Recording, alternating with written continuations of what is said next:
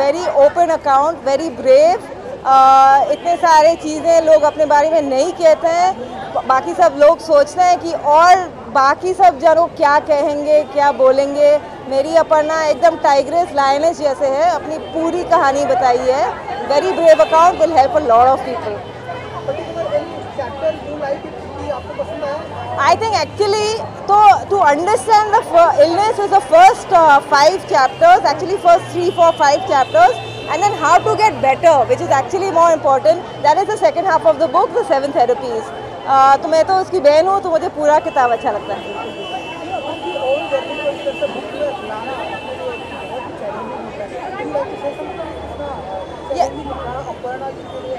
Yeah, I think it's a very, you Aparna has written journals and poetry her all life and फिर pandemic हुआ और वो घर पे बैठी है and she thinking she is getting better and she realise that if I can get better from this difficult disease that is bipolar then maybe I can write about my experience which is help me make better so this is why she wrote the book during the pandemic during the lockdown actually first year of lockdown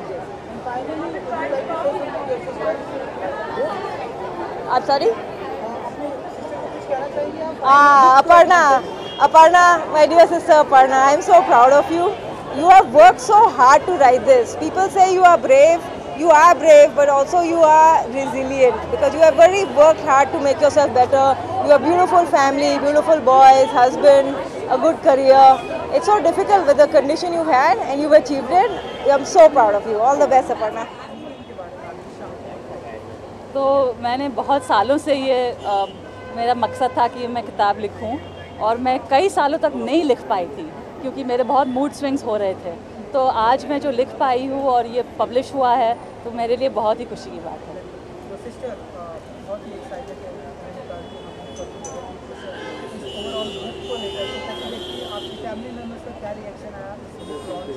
वो बहुत ही खुश हैं। हाँ और उन्होंने बहुत support किया है।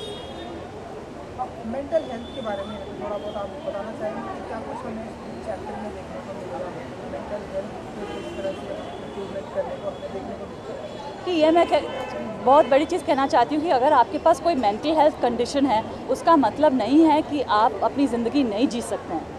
जो ज़िंदगी आप जीना चाहते हैं, जो भी आपके जो सपने हैं, वो फिर भी मेंटल हेल्थ कंडीशन होने के बावजूद भी डिप्रेशन हो एंगजाइटी हो बाइपोलर डिसऑर्डर हो या जो भी कोई दूसरी कंडीशन हो, फिर भी आप जी सकते हैं, वो मैं कहना चाहती हूँ।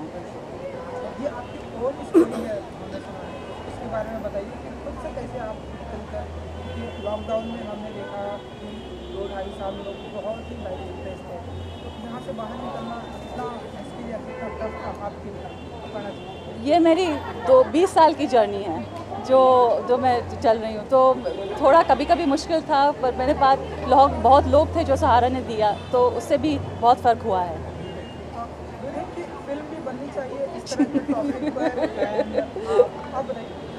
आई थिंक मेंटल हेल्थ की ज़रूर फ़िल्म बननी चाहिए, पर उसको इतनी सही तरह से ड्रामेटाइज करना चाहिए। तो वो मेंटल हेल्थ का यही डर रहता है कि वो ज़्यादा ड्रामेटाइज करते हैं सही तरह से नहीं दिखाते हैं तो फिर वो और भी गलत फहमी फैल सकती है। पर्टिकुलर कोई ऐसा चैप्टर है जो आपका फेवरेट रहा है मेरी जो कॉन्वर्सेशन विद सेल्फ है ना जिसमें मेरी खुद की जो बातचीत हो रही है अपने साथ वो मेरे लिए बहुत प्रेशस है।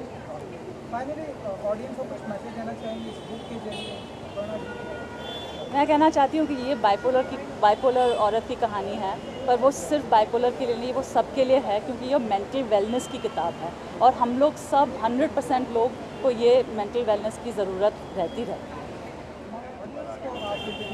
मेरा नाम नरेंद्र किंगर है। मैं एक क्लिनिकल साइकोलॉजिस्ट और साइकोथेरेपिस्ट हूँ। पिछले 36 साल से बम्बई में काम कर रहा हूँ और हमने एक एन स्टार्ट किया है टॉक टू मी जहाँ हम लोग फ्री काउंसलिंग सबके लिए ऑफ़र करते हैं। और जो लोग फ्री नहीं चाहते हैं कम पैसे दे के काउंसलिंग चाहते हैं उनके लिए भी अवेलेबिलिटी है। So it's a pay as you can और फ्री सर्विसेज़ फ़िलहाल हमारा एक सेंटर है जो माहिम में है जहाँ पे 10 साइकोलॉजिस्ट काम करते हैं। अ, हमारा फ्यूचर विजन है कि ऐसे 10 10 कम से कम सेंटर बम्बई में खोलें और उसके बाद महाराष्ट्र उसके आगे जितना हो सकता है। प्लानिंग कर रहे हैं आप लोग? अ, हम लोग ऑप्शन एक है अंधेरी और बोरेली के बीच में या फिर घाटकोपर और थाना के बीच में। अ, मेरे ख्याल से अ, सबसे पहली बात ये कहना चाहूँगा कि लोग अपने मानसिक स्वास्थ्य के बारे में बात करने से डरते हैं। तो ये बुक एक टेल इट ऑल स्टोरी है जहाँ उन्होंने बहुत ही करेजसली बहुत ही हिम्मत से अपने सिचुएशन के बारे में बताया है। तो मेरे ख्याल से ये सबके लिए एक अच्छी सौगात है मेरे ख्याल से कि आप अपने प्रॉब्लम्स को शेयर करें और बिना हिचक जब शेयर करते हैं तो लोग आपको सपोर्ट और सहानुभूति भी देते हैं। तो बहुत अच्छी बात है। तो एक्सपीरियंस आ, मेरे ख्याल से ये बहुत ही ब्यूटीफुल वेन्यू है। आ, लेकिन यहाँ मैं कहना चाहूँगा कि मानसिक स्वास्थ्य सिर्फ़ एक पर्टिकुलर तबके को नहीं, लेकिन हर तबके का प्रॉब्लम है तो गरीब लोगों को भी अफेक्ट करता है मिडिल क्लास भी अफेक्ट करता है, और अमीरों को भी अफेक्ट करता है। तो इसको न देखते हुए कि हम लोग कहाँ पर कर रहे हैं बेसिक समझ ये होनी चाहिए कि ये सबके लिए है।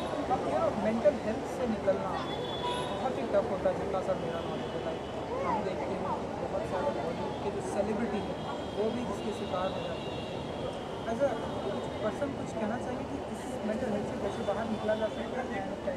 देखिए, मैं यहाँ पे ये कहूँगा कि सिर्फ़ सेलिब्रिटी नहीं, आम आदमी के ऊपर भी ये दुविधा, ये प्रॉब्लम आता है, पहली बात। सेलिब्रिटी क्योंकि पब्लिक आय में है, आपको जल्दी नज़र आता है, आप उन पर ज़्यादा ध्यान देते हैं मीडिया उनको कवरेज देता है। लेकिन जो एक आम आदमी है, जो एक कॉमन आदमी है, उसको ज़्यादा प्रॉब्लम होता है, पहली बात। दूसरी बात मेंटल हेल्थ को लेके एक जो बड़ी बात है कि फ़िज़िकल हेल्थ आप एक दो महीने में ठीक कर सकते हैं, लेकिन मेंटल हेल्थ को थोड़ा वक्त लगता है क्योंकि problem over a period of time develop हुआ रातों रात नहीं डेवलप हुआ तो कहीं ना कहीं जब ट्रीटमेंट होता है तो उसको वक्त लगता है और लोग शायद उतनी पेशेंस से इस चीज़ को डील नहीं करते हैं।